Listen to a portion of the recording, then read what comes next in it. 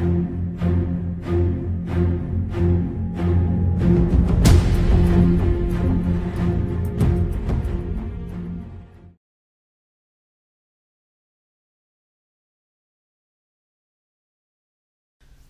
YouTube, so here's the next project for the Z06. As you can see, it's uh, going to be a brake job, uh, rotors and pads.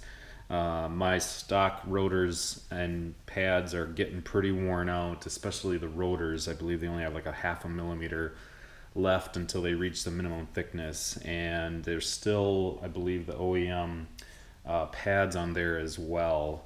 Uh, I bought the car with about 25,000 miles on it and um, it may have had a brake job, at least the pads at some point. The pads probably about half thickness, uh, but I decided to upgrade uh, everything I want. Usually, you should do pads with uh, performance rotors, anyways, um, just to make sure they bed together really well and last, you know, a little bit longer due to that fact. Um, the fronts here you can see are two piece and the rears are one piece. Uh, I went with uh, DBA Disc Brakes Australia uh, for my rotors. Um, long story short, I had ordered the Coleman rotors um, from Zip Corvette.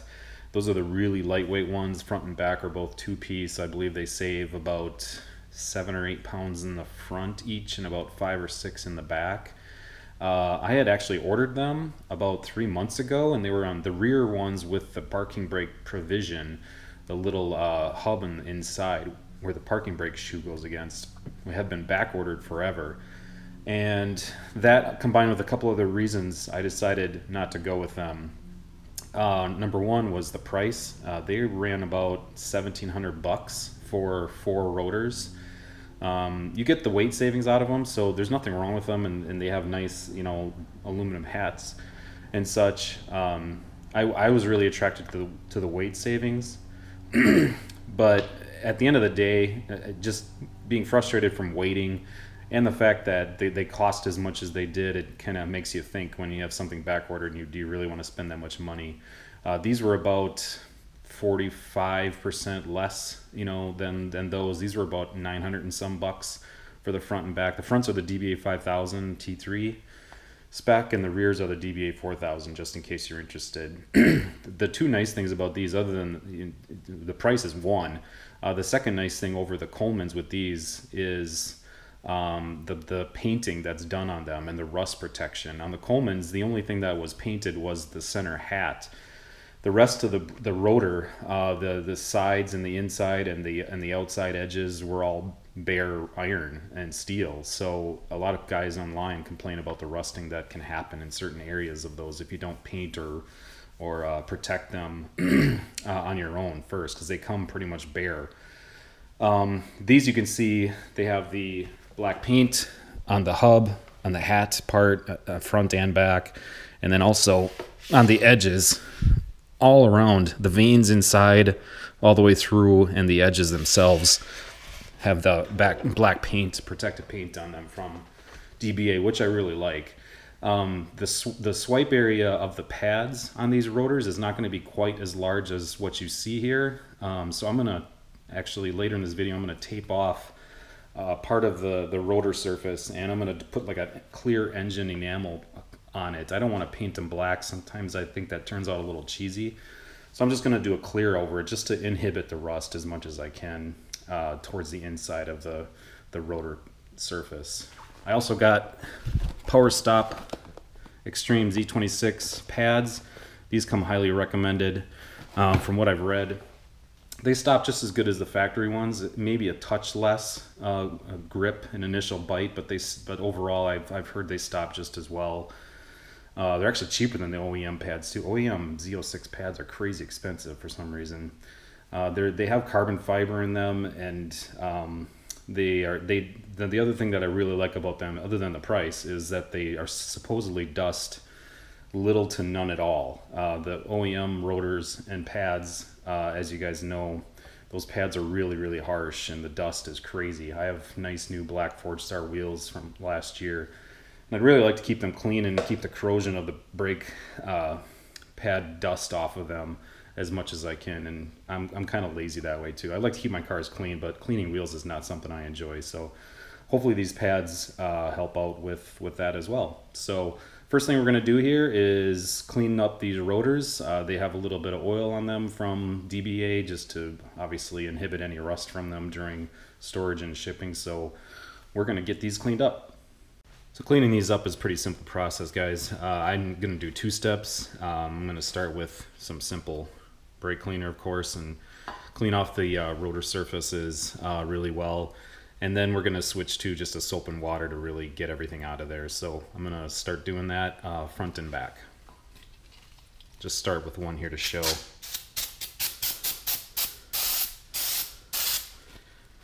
Just use a simple towel. Nice thing about the brake cleaner is it evaporates really quickly. I went with the uh, slotted rotors, as you can see, of course, uh, the stock ones, stock rotors come uh, with the uh, cross drilled holes, which I didn't really want. So if I ever do decide to track the car, I can keep these on the car and then just swap out pads to a better compound.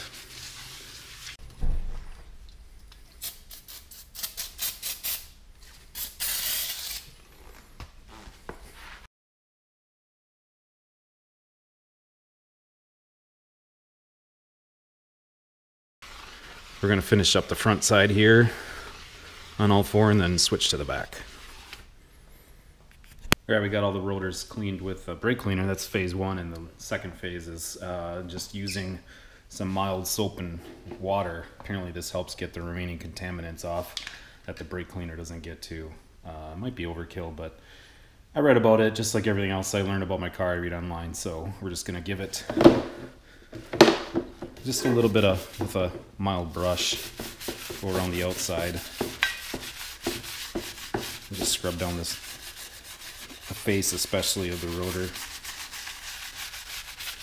and then I'll wipe it off with a uh, paper towel and make sure it comes out clean.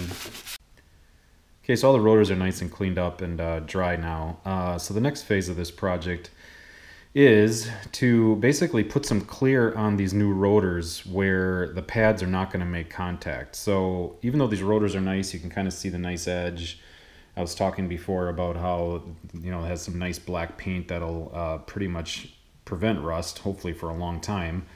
Uh, but really, when you take a closer look at uh, the, the white pattern on the car, I'm going to move over here to show the front rotor, for example. You can see where the pads wore onto the to the rotor. If you take a measurement of that and you come over to the new rotors, this is the rear, so I did the same thing for the rear. The white pattern is not as wide as this finished or raw part of the rotor. So I took a measurement. It's gonna be kind of hard to see here, but I just made a little mark. This is my little uh, measurement tool here, my fancy dancy tool. So basically, if I line this up from the edge of the rotor to the edge of the paper, you can see there's probably about uh, maybe a quarter of an inch, maybe a little less of the raw rotor still showing on the surface. So what I want to do is mask off this part here and leave this inside strip. I'll straighten this out again. Leave this little inside strip right there exposed and then I'm going to mask kind of on the inside here with some tape. I'll show it to you when I'm done so you can, you can have an idea what I'm doing. So basically I'm going to clear coat this strip on the inside so this part that's going to be exposed that's not going to be wiped by the rotor pads uh, doesn't rust at all or discolor. So I'm going to get this masked off and then show you the end result of the masking uh, right before we do the spray. So I'm halfway done masking. You can get a good idea now of what my goal here was. So I got the uh, rotor pad, uh, sorry, the rotor surface masked off. Uh, I just need to do the hub yet. So if I zoom in here a little bit, you can kind of see what I'm ending up with is that nice strip along the inside edge of the rotor uh, surface itself. Then I'm going to end up spraying clear to prevent that rust. So I'm going to finish off the hub, uh, masking that off, and then I'll show you that, and then that'll be it. Okay, masking is completely done now. Uh, just have the exposed little strip and that inner black part. Um, I probably could have left the uh, masking off the top here and just cleared the uh, the hat part too. You can't see most of it anyways, but it's got a nice uh, finish on it from DBA, and it really doesn't need a clear. And I didn't want to, you know, have any orange peel or anything like that that you could see in a reflection or whatever. I know that sounds really anal, but Um, it's already painted, so there was no really reason to to try to cover that up again. Um, and I'm doing clear because um, I didn't want to really extend this black up onto the rotor, the flat rotor face either. That might look a little, I don't know, amateurish. So by doing clear, I'll still get the protection, but it'll have a nice line uh, and not change the way it looked right from DBA. So uh, I just got to do this for the other three, and then I'll get to spraying.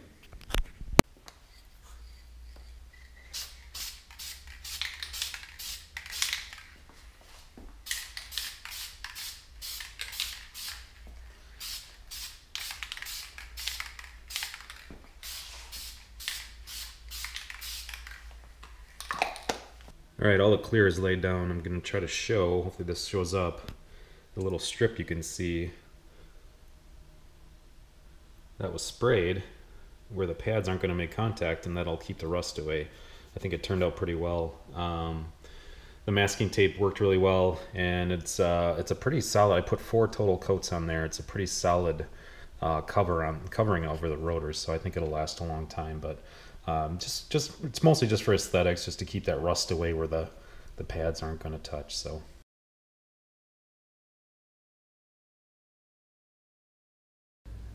Okay, first thing I'm going to do is uh, I pop the cap off the brake fluid reservoir. Uh, you can see it is like plumb full. So uh, when I push the pistons back in the calipers, I don't want any of that uh, overflowing or anything. So got some rags around it and I'm going to actually use this little uh, baster that I use to change my clutch fluid to t- suck some of that out.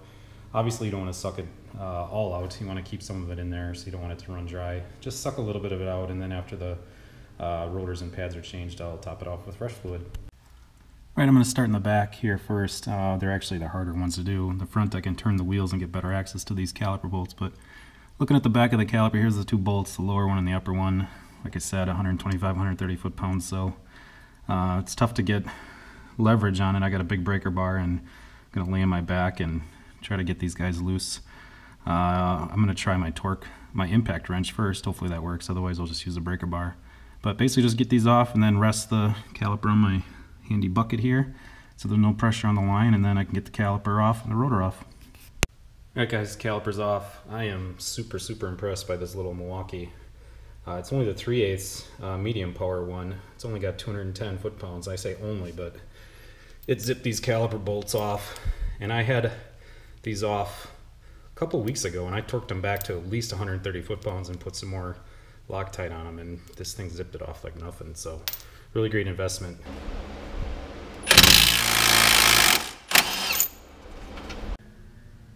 Okay, I got the old pads out and the pistons pushed in, I think, as far as they'll go.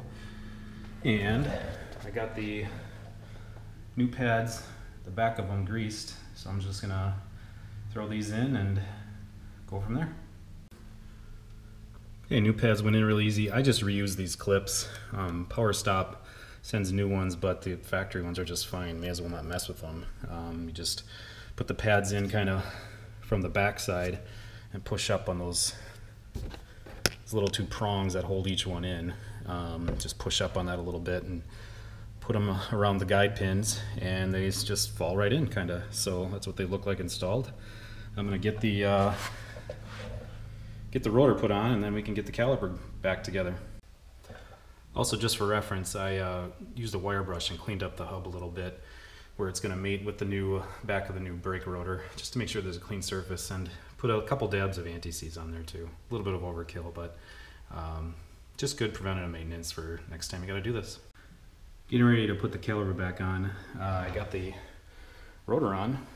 Looks nice and clean. You got to push on a little bit to make sure it gets the hub gets over the uh, uh, parking brake shoe, of course. Make sure that's fully seated, which it is now.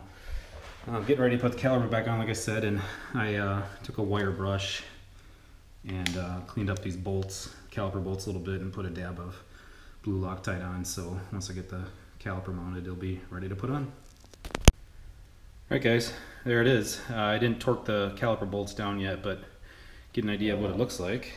And I still got to finish cleaning up that nasty caliper. I didn't do that yet, but uh, went back together real easy. Um, I had the caliper uh, pistons pushed back far enough that um, it slid right over really easy. So uh, uh, not bad for the first one. I'm going to torque the uh, bolts down, and that's pretty much the process. Uh, other than just some cleaning in the wheel well and such like that, um, it's pretty easy. Just uh, don't forget to put the grease on the back of the uh, pads. Hopefully, I don't have any squealing. Uh, it's always kind of a hope thing. You never know for sure until you do it. But um, first brake job, I've, brake job I've really done in a car, including this one. So all in all, with the monoblock caliper and only two bolts, it's a pretty easy job. And I consider myself a novice. So uh, if you haven't done it or you have a brake job coming up, uh, don't be afraid to do it.